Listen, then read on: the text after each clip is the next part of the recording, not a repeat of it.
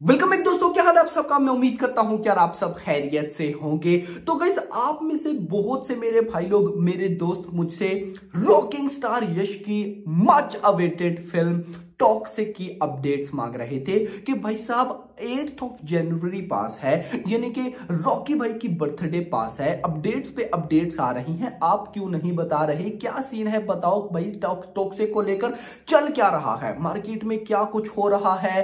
क्या होने वाला है इस फ़िल्म को लेकर? बताओ। तो गाइज़ अभी मुझे टॉक्सिक को लेकर जो जो डिटेल्स पता है, मैं वो सारी की सारी डिटेल्स आप लोगों के साथ शेयर करने वाला हूँ। लेकिन उससे पहले अगर आपने अभी तक वीडियो को लाइक नहीं किया तो गाइज़ लाइक ज़रूर ज़रूर ज़रूर करना है और चैनल को भी सब्सक्राइब। सुनाओ गाइस सबसे पहले हम वो अपडेट्स देख लेते हैं जिन पर भाई साहब आजकल बहुत ज़्यादा बात हो रही है और क्या वो सच भी हैं या नहीं। तो सबसे पहले भाई, एक अपडेट आप सबको देखने को मिल ही गई होगी। बहुत से भाई लोगों को नहीं भी पता होगा। तो मैं आप सबको बताता चलूँ कि रॉकिंग स्टार यश की ये जो फ़िल्म टॉक्सिक है। बेसिकली गाइस सबसे पहले तो अपडेट के अकॉर्डिंग इस फ़िल्म के अंदर हमें तीन हीरोइंस देखने को मिलने वाली हैं। रॉकिंग स्टार यश के साथ है, नहीं है, क्या है, ये नहीं पता। लेकिन भाई साहब, तीन हीरोइंस देखने को मिलने वाली है रॉकिंग स्टार यश के साथ, जिनमें से भाई साहब एक का नाम बॉलीवुड का है और वो है करीना कपूर। यस भाई साहब। कल से ये बहुत ज़्यादा वायरल हो रहा है कि करीना कपूर, भाई साहब, वो यश के साथ एज अ लीड रोल तो नहीं, लेकिन बस ये देखने को मिला है कि वो टॉक्सिक में हमें रॉकिंग स्टार यश की फ़िल्म में देखने को मिलने वाली है। अब गई देखो, अगर मैं आपको पर्सनली बताऊँ तो फ़िलहाल ऐसी कंफर्मेशन कहीं से भी नहीं आई। बहुत से भाइयों ने यह भी बोला कि करीना कपूर इंस्टाग्राम के ऊपर रॉकिंग स्टार यश को फॉलो कर रही है। तो गई वो अभी से फॉलो नहीं कर रही, वो काफ़ी पहले से फॉलो कर रही हैं। लेकिन फिर दूसरी साइड पर अगर मैं अपना माइंड जोड़ाऊं तो लगता भी है क्योंकि रॉकिंग स्टार यश ने भी भाई साहब के जीएफ टू से पहले ही सोच, जिस तरह का माइंड सेट है, जिस तरह का ऑफकोर्स माइंड सेट है इस बंदे का, जिस तरह का ये बवाल माइंड लेकर चलते हैं तो भाई ऑफकोर्स ऐसा तो बिल्कुल भी मैं मान नहीं सकता कि केजीएफ चैप्टर टू के बाद उन्होंने टॉक्सिक के बारे में सोचा हो। वो कहीं ना कहीं भाई केजीएफ टू से पहले ही टॉक्सिक के बारे बारे में सोच रहे थे कि भाई मैं एक फ़िल्म बनाऊँगा, जिसका नाम टॉक्सिक होगा, जिसके अंदर ये ये होगा। तो कहीं ना कहीं मुझे लगता है कि Kareena Kapoor and maybe rocking star Yash, इनकी बातचीत बहुत पहले से चल रही है।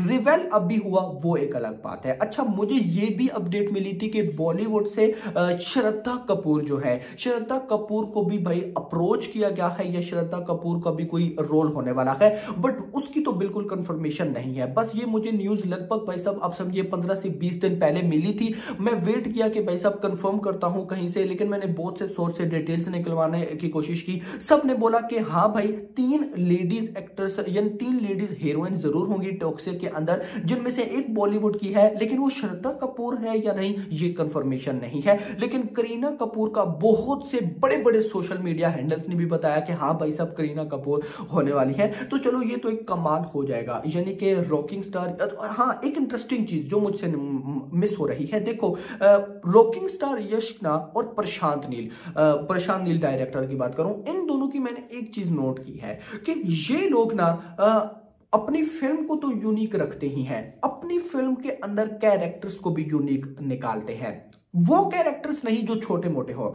मैं यहाँ पर बात कर रहा हूँ लीड एक्ट्रेसेस की या लीड एक्टर्स की। जैसे भाई साहब, अब देखो टॉक्सिक के अंदर करीना कपूर। ये एक बिल्कुल ही यूनिक चीज़ है, लेकिन टॉक्सिक के अंदर श्रद्धा कपूर समझ में नहीं आती, क्योंकि ऑलरेडी भाई साहब, जो साउथ की साउथ की तो बड़ी फ़िल्म नहीं, साउथ की जो बड़ी एक्टर प्रभास है, प्रभास की फ़िल्म साहू में श्रद्धा कपूर देखने को मिल चुकी है, लेकिन करीना कपूर अभी तक नहीं है। यस किसी भी साउथ की बड़ी फ़िल्म में। सो मे बी अगर टॉक्सिक में भाई साहब करीना कपूर को लिया जाए, अगर वो रॉकिंग स्टार यश के साथ है, या मतलब कि बड़ा एक ना यूनिक चीज़ हो जाएगी, जैसे केजीएफ चैप्टर टू में रवीना, यार एक टोटली यूनिक चीज़ थी, एक अलग मतलब बवाल था वो, और फिर वो विलन भाई साहब अधीरा, यानी कि संजय दत्त, एक यूनिक चीज़ उन्होंने पकड़ी ना सो अगर करीना को ये लेते हैं तो मेरी नज़र में भाई ये एक बहुत यूनिक चीज़ हो जाएगी। बाकी इसके अलावा जो दो लेडीज़ एक्ट्रेसेस हैं, उनके भी नाम शो हो रहे हैं, लेकिन वो साउथ की हैं, उनका मुझे अभी कंफर्मेशन नहीं है, लेकिन लेकिन मैं बता देता हूँ, एक पूजा हेगड़े हैं।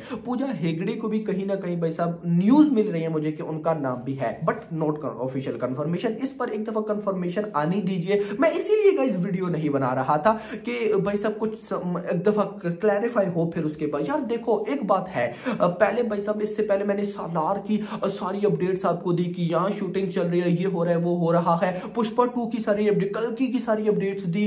उसके अलावा बॉलीवुड में तो पठान जवान की देता ही रहा डंकी की देता ही रहा।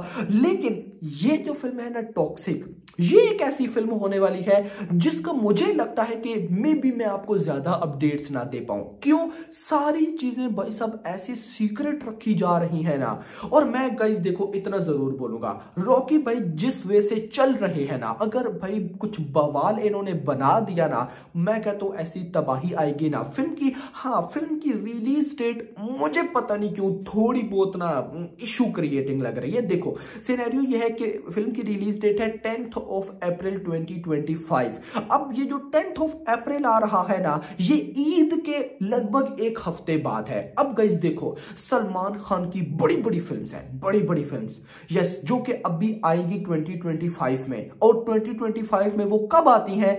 भाई सब देखो, सलमान खान की तीन रिलीज़ डेट है। या तो ईद है, या दिवाली है, या भाई इंडिपेंडेंस डे है। लेकिन मुझे नहीं लगता कि भाई इंडिपेंडेंस डे या ईद, या फिर दिवाली पर जाएगी, क्योंकि लास्ट 2023 में ही अनाउंसमेंट हो गई थी शूटिंग भी चल रही है तो कहीं ना कहीं भाई ईद पर देखो, सलमान खान ने एक इंटरव्यू में बताया था कि वो अपकमिंग तीन एक्शन फिल्म्स में काम कर रही हैं। तो भाई खुद देख ले कि कहीं ना कहीं ईद पर उनकी एक फ़िल्म आएगी। अब गाइस देखो, सलमान खान की क्या वैल्यू है वो मुझे बताने की ज़रूरत नहीं है। तो भाई ईद के ठीक एक हफ़्ते बाद टॉक्सिक को रिलीज़ करना मुझे पर्सनली पता नहीं क्यों नहीं समझ आ रहा। हाँ ईद के दो हफ़्ते बाद समझ में आता है। और मे भी मुझे लगता है कि ये थोड़ी बहुत आगे चली जाए। कुछ लेकिन वो उस टाइम देखा जाएगा। तो और वैसे भी देखो अभी एक फ़िल्म तो है नहीं यानी कि ईद एक ऐसा मतलब कि क्या बोलते हैं उसको एक ऐसा सीन होता है ईद पे जहाँ पर एक फ़िल्म तो आती नहीं है मल्टीपल आ जाती है। अब जैसे देख ले इस ईद पर अभी बड़े मियाँ छोटे मियाँ है, है तो एक ही लेकिन उसके साथ देख लीजिएगा अभी अपकमिंग अनाउंस हो जाएगा कोई ना कोई क्लैश में ज़रूर घुसा होगा। क्योंकि ईद एक ऐसा इवेंट है जहाँ पर फ़िल्म रिलीज़ होती है। सो भाई अब देख रहे वहाँ पर एक हफ़्ते बाद टॉक्सिक तो देखना इंपॉर्टेंट होगा कि भाई साहब तब क्या होता है। बट यहाँ पर मैं इतना ज़रूर बोलूँगा कि अगर टॉक्सिक बवाल नेवल निकली मतलब कि जैसा हम चाहते हैं, क्योंकि एक तो लेडीज़ मलयालम लेकिन वो नेशनल अवार्ड विनर डायरेक्टर हैं तो उम्मीद लगाई जा सकती है। यानी कि हर एक चीज़ से टॉक्सिक की उम्मीद लगाई जा सकती है। तो अगर कहानी इंप्रेसिव हुई एक्टिंग में तो भाई साहब यश की स्क्रीन प्रेजेंस ही भाई साहब बवाल है मुझे। एक्टिंग वाइज मुझे उम्मीद है कि भाई रॉकी भाई कोई चीज़ को मिस नहीं होने देंगे। लेकिन अगर कहानी रॉकी भाई ने संभाल ली ना। मैं कहता हूँ, ये 2025 की maybe maybe maybe biggest film में से एक बन जाए। यस मेरा भाई। नाउ अभी मूव करते हैं। परसों परसों नहीं, आज पाँच है।